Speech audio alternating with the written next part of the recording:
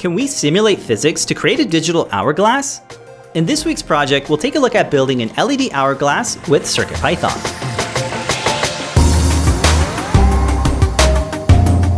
Hey, what's up folks? In this project, we're building an LED matrix hourglass. You can create this little physics toy using some 3D printed parts and electronics from Adafruit.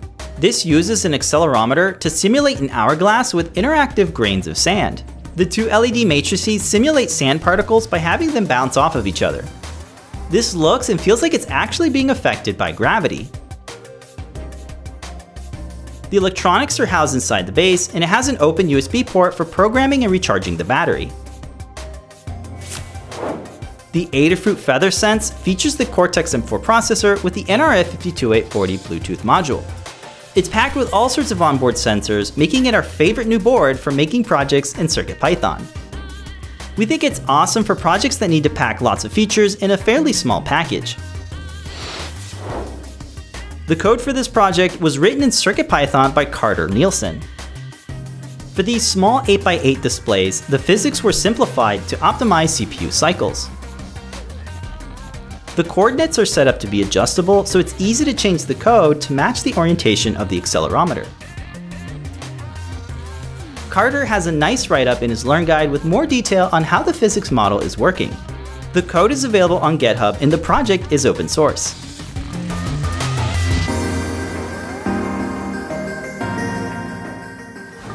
There's lots of support for CircuitPython and you can browse the list by heading over to circuitpython.org.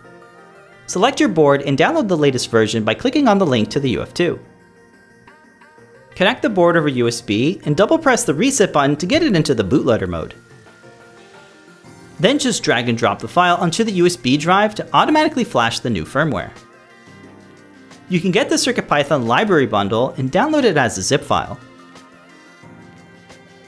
You'll need to grab the required libraries and drop them in the lib folder on the CircuitPy drive. The code is embedded in the Learn Guide and can be easily downloaded using the links. CircuitPython is designed for beginners, and we think it's great for folks who are just getting started with electronics. You can get the parts to build this project, links are in the description.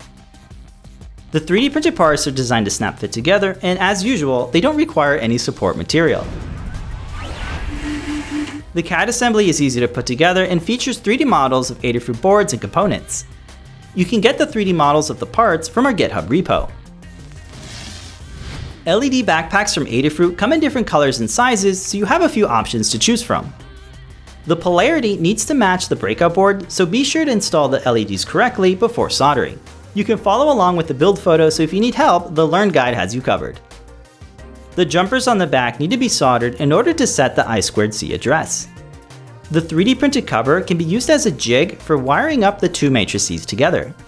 A cable with a Stemma QT connector is used to make the assembly much easier. The circuit is wired up and powered by a small 400mA battery. The electronics snap fit onto the bottom cover with tabs and built-in standoffs. The spindles are secured to the cover using M3 screws. A screw tap can be used to create proper threading for screwing into. The two matrices are housed in a peanut-shaped enclosure that also snap fits. The ends are press fitted with the wiring fitted through the opening in the center of the cover. The covers are secured with the spindles acting as support holding everything together. Stemma QT connectors make it easy to attach the matrices to the feather. The bottom base snap fits onto the cover so it's easy to take it apart and put it back together. Be sure to check out the full step-by-step -step tutorial on the Adafruit Learning System. I hope this inspires you to check out the FeatherSense and start thinking about using CircuitPython in your next project. Thanks so much for watching and don't forget to subscribe for more projects from Adafruit.